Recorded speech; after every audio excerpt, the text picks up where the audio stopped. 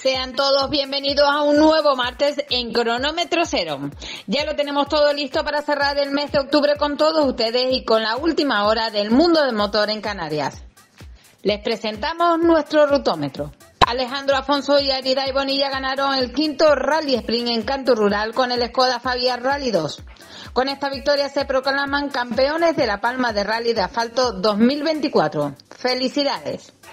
Armire Martín y Pedro Domínguez se llevaron la victoria con el Skoda Fabia Rally 2 en la 51 edición del Rally de Maspalomas celebrado en Gran Canaria.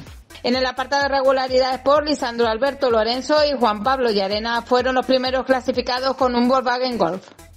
El Karting Club Tenerife acogió la segunda prueba del Campeonato de Tenerife de Karting y la cuarta cita del Campeonato de Canarias de Karting con los más pequeños del mundo del motor.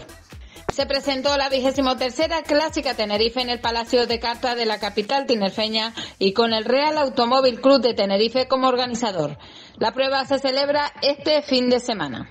Ya hemos hecho entrega de la patineta eléctrica sorteada durante el pasado Rally La Palma Isla Bonita Trofeo Sicar, cortesía de Word en La Palma en colaboración con Cronómetro Cero.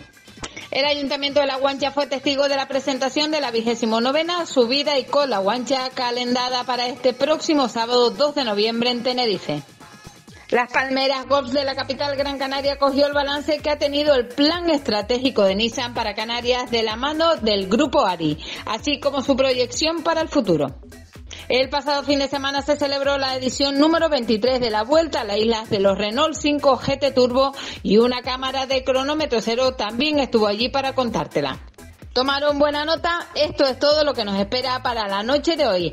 Así que pónganse cómodos, preparen sus roscas y sus cotufas, abróchense fuerte el cinturón y tengan el móvil a mano. Les esperamos en el 647 130 110. Arrancamos.